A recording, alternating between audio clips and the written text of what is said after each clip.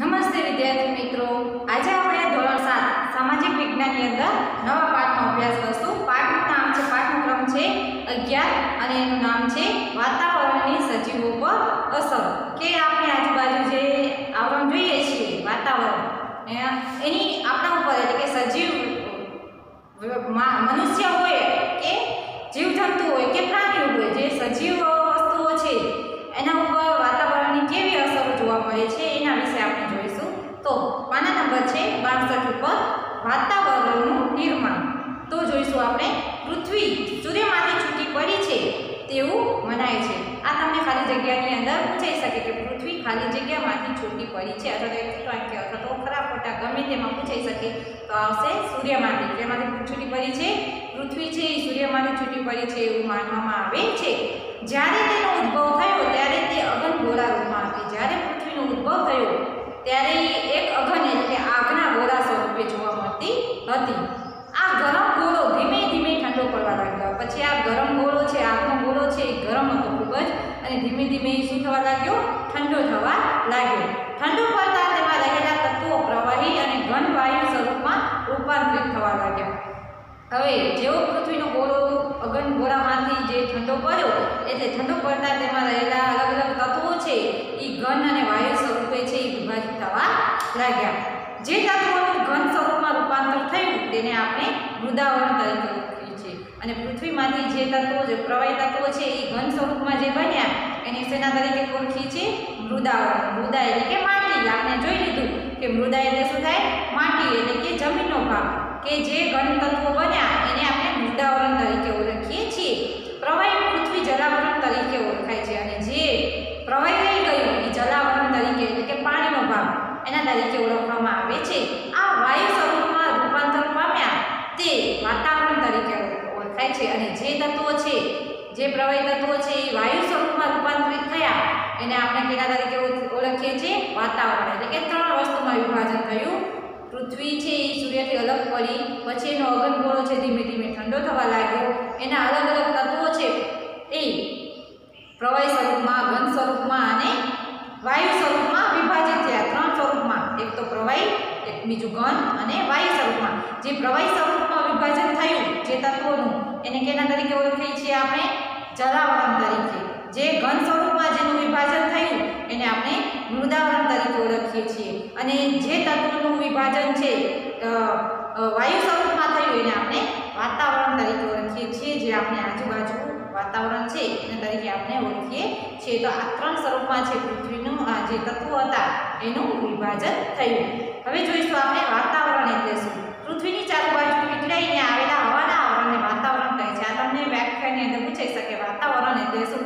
તો પૃથ્વીની ચારે બાજુ ચારે બાજુ વીંટળાઈને આવેલા હવાના આવરણને વાતાવરણ કહે છે. પૃથ્વી સપાટીથી તે સેંકડો કિલોમીટરની ઊંચાઈ સુધી વિસ્તરેલું છે. ને પૃથ્વીની જે સપાટી છે, એટલે કે જમીનનો ભાગ છે ત્યાંથી સેંકડો કિલોમીટરની ઊંચાઈ સુધી આ વાતાવરણ છે એ વિસ્તરેલું છે. એની ઉપરની સીમા કેટલી ઊંચાઈએ આવે છે તે સ્પષ્ટ કહેવું મુશ્કેલ છે. તેમ છતાં પૃથ્વીના ગુરુત્વાકર્ષણની અસર અવકાશમાં જ્યાં સુધી રહેલી છે ત્યાં વાતાવરણ પૂરું થયેલું માનવામાં આવે છે. પૃથ્વી સપાટીથી બત્રીસ કિલોમીટરની ઊંચાઈ સુધીના વાતાવરણના પળમાં નવ્વાણું ટકા જેટલી હવા સમાયેલી છે. કે પૃથ્વીની સપાટીથી બત્રીસ કિલોમીટરની ઊંચાઈ સુધી જે વાતાવરણનું પડ આવેલું છે, એનામાં નેવું ટકા છે એટલી હવા છે, એ સમાયેલી છે. પૃથ્વી સપાટીથી જેમ જેમ ઊંચે જઈએ, તેમ તેમ હવા પાતળી થતી જાય છે. અને આપણે જેમ પૃથ્વી સપાટીથી ઊંચે જતા જઈએ, આ પરીક્ષાની અંદર પૂછાઈ શકે કે પૃથ્વી સપાટીની ઊંચે જે ઊંચે ઊંચે જતા એટલે કે ઊંચે જતા આવા કેવી થતી જાય છે તો આવશે? કેવી થતી જાય? પાતળી થતી જાય છે. હવે આપણે આગળ જોઈશું વાતાવરણમાં વાયુઓ કે વાતાવરણમાં કયા કયા વાયુઓ રહેલા છે. વાતાવરણ વિના પૃથ્વી પરની જીવસૃષ્ટિનું અસ્તિત્વ અશક્ય છે. કે જો વાતાવરણ ન હોય તો પૃથ્વી ઉપર આ જીવન છે, જીવસૃષ્ટિ છે, સજીવોનું રહેવું છે એ ખૂબ જ મુશ્કેલ હોય છે. વાતાવરણ વાયુ પ્રવાહી અને ઘન તત્વોનું બનેલું છે અને આ વાતાવરણ ત્રણ તત્વોનું, વાયુ, ઘન અને પ્રવાહી. ત્રણ તત્વોનું બનેલું છે. તેમાં રહેલા ઓક્સિજન અને નાઇટ્રોજન વાયુઓ જીવસૃષ્ટિ માટે અગત્યના છે. અને વાતાવરણની અંદર રહેલા ઓક્સિજન અને નાઇટ્રોજન એ ખૂબ જ સજીવ સૃષ્ટિ માટે ખૂબ જ અગત્યના છે. જો ઓક્સિજન અને નાઇટ્રોજન ન હોય, તો સજીવ સૃષ્ટિ છે એ અશક્ય છે. વાતાવરણમાં ધુમ્મસ, ઝાકળ, વાદળ વગેરે વાતાવરણમાં રહેલા પાણીના સ્વરૂપો છે. વગેરે છે કે વાતાવરણની અંદર પ્રવાહી તત્વોમાં કોનો સમાવેશ થાય છે તો બરફના કણો અને જીવજંતુઓ. વાતાવરણ પૃથ્વીને દિવસે ગરમી અને રાત્રે અતિશય ઠંડીથી બચાવે છે. કે વાતાવરણ છે, પૃથ્વીને દિવસની અંદર, દિવસમાં છે, ખૂબ જ ગરમીથી અને રાત્રે અતિશય ઠંડીથી આપણે વાતાવરણ બચાવે છે. જો વાતાવરણ ન હોય તો આ જીવસૃષ્ટિ છે એ ખૂબ અશક્ય છે પૃથ્વી ઉપર. વાતાવરણમાં રહેલા વાયુનું પ્રમાણ બાજુના કોષ્ટકમાં દર્શાવેલ છે. આપણે જોઈ શકીએ છીએ વાતાવરણમાં જે જે વાયુ રહેલા છે, એ તમે પાઠ્યપુસ્તકમાં જોશો તો કોષ્ટકમાં બાજુમાં આકૃતિ દ્વારા દર્શાવ્યું છે કે નાઇટ્રોજન છે એ વાતાવરણમાં કેટલા ટકા છે? ઇઠોતેર પોઈન્ટ ત્રણ ટકા. ઓક્સિજન છે એ વીસ પોઈન્ટ નવ્વાણું ટકા છે. ઓર્ગોન છે એ zero point zero zero point ચોરાણું ટકા છે. કાર્બન ડાયોક્સાઇડ છે ઝીરો પોઈન્ટ ઝીરો ત્રણ ટકા રહેલું છે વાતાવરણની અંદર. અને અન્ય એના સિવાયના અન્ય વાયુઓ છે ઝીરો એક ટકા છે એ રહેલા છે. નાઇટ્રોજન આશરે એકસો ત્રીસ કિલોમીટર સુધી જોવા મળે છે. કે વાતાવરણની અંદર નાઇટ્રોજન છે એ ઊંચે ઊંચે જતાં નાઇટ્રોજન છે એકસો ત્રીસ કિલોમીટર સુધી આપણને જોવા મળે છે. નાઇટ્રોજન સોરી જ્યારે ઓક્સિજન આશરે એકસો દસ કિલોમીટર અને કાર્બન ડાયોક્સાઇડ આશરે વીસ કિલોમીટર સુધી જોવા મળે છે, જ્યારે એકસો ત્રીસ કિલોમીટરની ઊંચાઈ પછીના વાતાવરણમાં હાઇડ્રોજન અને હિલિયમનું પ્રમાણ વધતું જાય છે, કે અતિશય વધારે ઊંચાઈ જઈએ, એકસો ત્રીસ કિલોમીટરની ઊંચાઈ ઉપર જઈએ, ત્યારે કયા વાયુઓનું પ્રમાણ વધતું જાય છે, તો આવશે કે હાઇડ્રોજન અને હિલિયમ વાયુ છે, આ બે હલકા વાયુઓ છે, એનું પ્રમાણ છે, વાતાવરણના ઊંચાઈ સુધી એકસો ત્રીસ મીટરથી વધારે ઊંચી જતા આ બે વાયુ નાઇટ્રોજન અને હિલિયમ વાયુનું પ્રમાણ છે વધતું જાય છે. હવે આપણે જોઈશું વાતાવરણની સ્તર રચના. વાતાવરણને પૃથ્વીની સપાટીથી ઊંચાઈ તરફ જતાં તાપમાન અને વાયુની સંરચનામાં થતા ફેરફારમાં ફેરફારના આધારે અલગ અલગ આવરણ કે સ્તરોમાં વિભાજિત કરવામાં આવ્યા છે કે વાતાવરણની સપાટીની ઊંચાઈ તરફ આપણે જઈએ તેમ તાપમાન અને વાયુની સંરચના છે. એની રચના છે તાપમાન અને વાયુની. એને અલગ અલગ ભાગોમાં વિભાજિત કરવામાં આવ્યા છે. આ ફેરફારોને આધારે તેના ચાર પેટા આવરણો પાડવામાં આવ્યા છે. આ બધા ફેરફારો હોવાના કારણે વાતાવરણના એને કારણે વાયુઓને છે એ ચાર ભાગમાં વહેંચવામાં આવ્યા છે. એક તો શોભાવરણ, બીજું છે સમતાપાવરણ, ત્રીજું છે મધ્યાવરણ અને ચોથું છે ઉષ્માવરણ.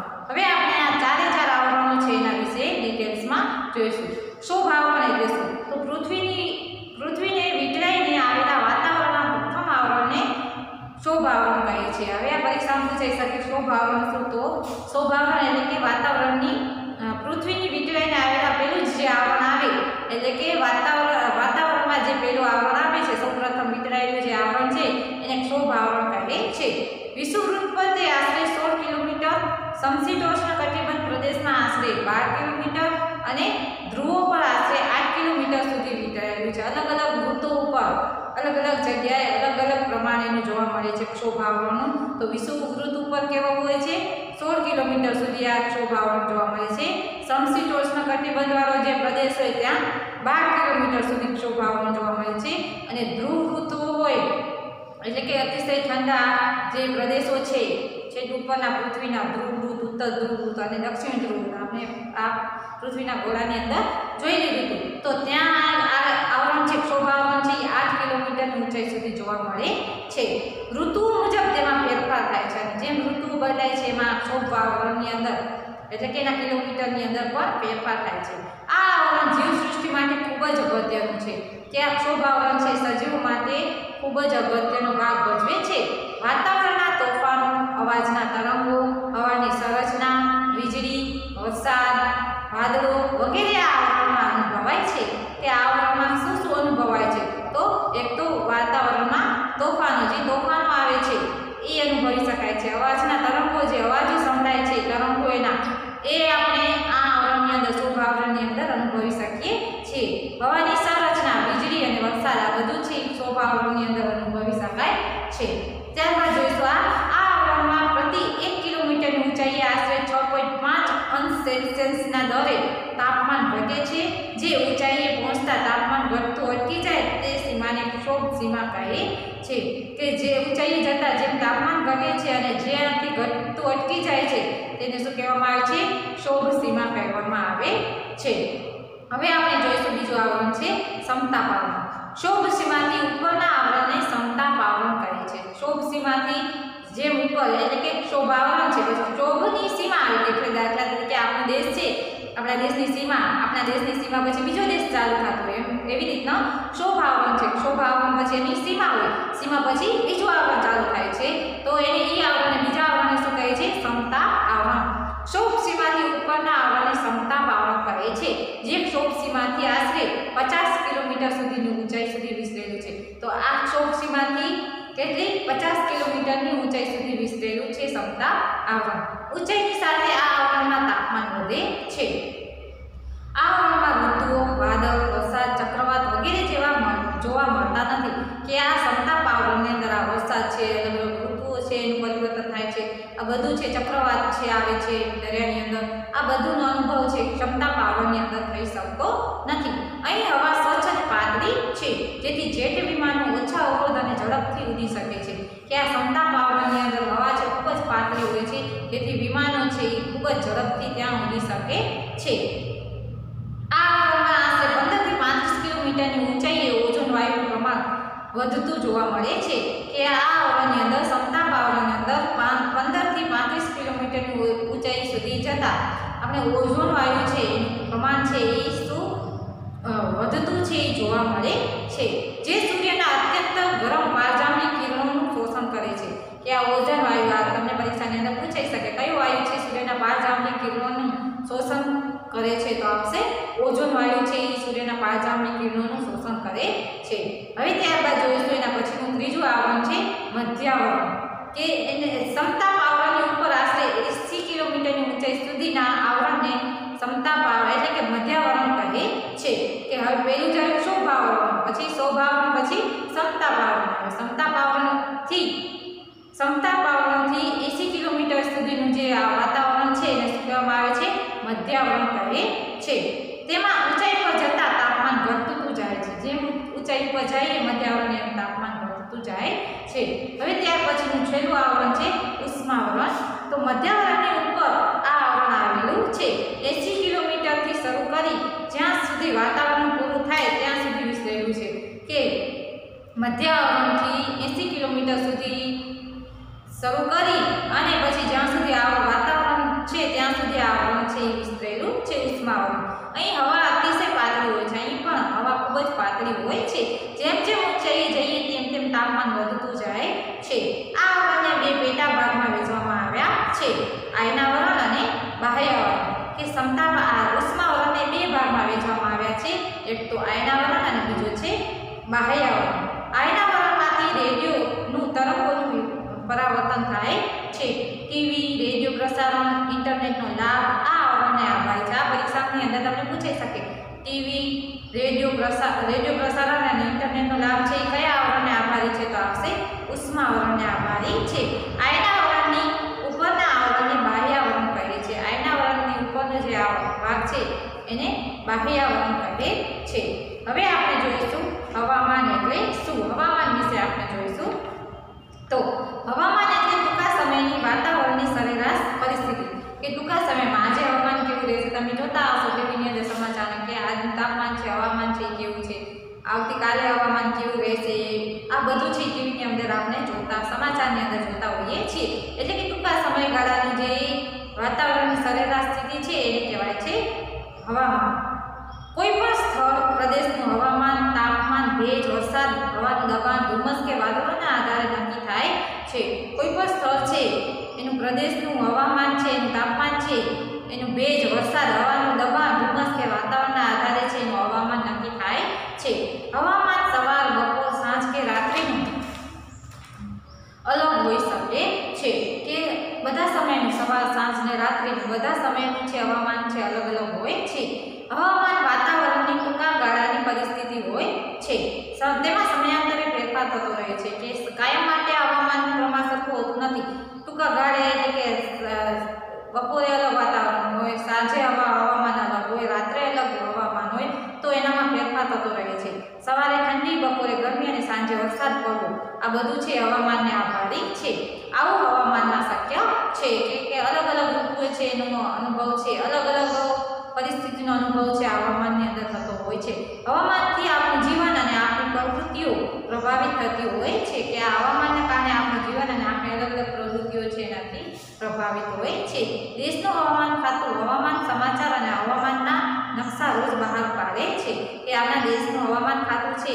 એ દરરોજ દરરોજ હવામાનના સમાચાર છે. આપણે જોઈએ છીએ, હું કીધું એવી રીતના કે સમાચારની અંદર આ હવામાનના સમાચાર આપણે જોતા હોઈએ છીએ અને હવામાનના નકશા છે એ પણ બતાવતા હોય છે. તો એ આ કોણ બહાર પાડે છે?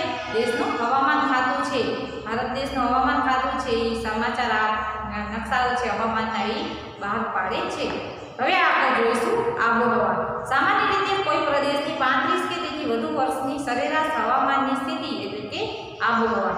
આબોહવા સ્થાનિક પરિસ્થિતિ એટલે કે તાપમાન, ભેજ, વરસાદ, હવાનું દબાણ, ધુમ્મસને ધ્યાનમાં રાખીને નક્કી કરવામાં આવે છે. હવામાન જે તે પ્રદેશની જીવસૃષ્ટિ, પ્રાણીસૃષ્ટિ અને માનવ જીવન તથા તેની પ્રવૃત્તિઓની સ્થિતિ અસર કરે છે. હવે જોયું, આપણે જોઈશું તાપમાન એટલે શું? તો હવામાં રહેલી ગરમીની સપાટીને તાપમાન, કે હવામાં જે ગરમીની સપાટી રહેલી છે, ગરમીનું પ્રમાણ રહેલું છે એને તાપમાન કહે છે. વાતાવરણના તાપમાનમાં દિવસ અને રાત્રિ દરમિયાન જ ફેરફાર અનુભવાય છે. વાતાવરણમાં દિવસ અને રાત્રિ દરમિયાન તાપમાનમાં શું આવે છે? ફેરફાર આવે છે. દિવસના તાપમાન છે, ઉષ્ણ હોય છે, ગરમ હોય છે, રાતના છે એ જરા ઠંડુ વાતાવરણ હોય છે. એટલે કે તાપમાન છે એ ઠંડુ હોય છે. તાપમાન ઋતુઓ પ્રમાણે પણ બદલાય છે. તાપમાન છે તો ઋતુઓ પ્રમાણે તાપમાન એટલે કે ઉનાળામાં વધારે તાપમાન હોય છે ગરમી વધારે હોય છે જ્યારે શિયાળામાં છે એ ઠંડુ વાતાવરણ રહે છે એટલે કે તાપમાન ઓછું રહે છે શિયાળા કરતાં ઉનાળામાં તાપમાન વધુ હોય છે કે શિયાળા કરતાં છે ઉનાળામાં તાપમાન ઊંચું હોય છે વધારે હોય છે વધારે ગરમી પડવાના કારણે ઉનાળામાં વધારે તાપમાન હોય છે સૂર્યઘાત એ તાપમાનના વિ- વિતરણને અસર કરતું મહત્વનું પરિબળ છે સૂર્યઘાતનું પ્રમાણ વિષુવવૃષ્ટિ ધ્રુવ વૃત્તો તરફ ઘટે છે આ કારણે ધ્રુવ પ્રદેશો બરફથી ઢંકાયેલા હોય છે જો પૃથ્વી પર તાપમાન વધી જાય તો ખેતી પાકો ઉગી શકે નહીં. જો પૃથ્વી પર અતિશય તાપમાન વધી જાય, તો ખેતીના જે પાકો છે એ ઉગી શકે નહીં. બધા પાકો છે એ શું થઈ જાય છે? બળી જાય છે. શહેરમાં ગામડા કરતાં વધારે તાપમાન અનુભવે છે. આ પરીક્ષામાં તમને પૂછાઈ શકે એવા એક એક વાક્યમાં કે શહેર ક્યાં ગામડા કરતાં ગામડા કરતાં ક્યાં તાપમાન છે વધુ અનુભવાય છે તો આવશે શહેરોમાં. તેનું કારણ પાકી સડકો અને સિમેન્ટ પરથી બનેલી ઇમારતો હોય છે. કારણ કે સુકમ શહેરોમાં વધારે તાપમાન હોય છે. કારણ કે ત્યાં પાકી સરખું જ વધારે વધારે વધારે પ્રમાણમાં પાકી સરખું હોય છે અને ઇમારતો પણ સિમેન્ટની બનેલી હોય છે. તેના કારણે છે એ શહેરોમાં વધારે તાપમાન અનુભવાય છે. તો આપણે આ અત્યાર સુધી આ વાતાવરણની સજીવો પર અસર એનામાં અલગ અલગ વાયુ વિશે જોયું અને સ્તર રચના જોયું અને ત્યારબાદ આબોહવા, તાપમાન, આ બધા હવામાન એના વિશે જોયું હવે નેક્સ્ટ વિડીયોની અંદર ભાગ બેની અંદર આપણે તાપમાનનું દબાણ એના વિશે, આપણે વાતાવરણનું દબાણ એના વિશે આપણે જોઈશું. અસ્તુ.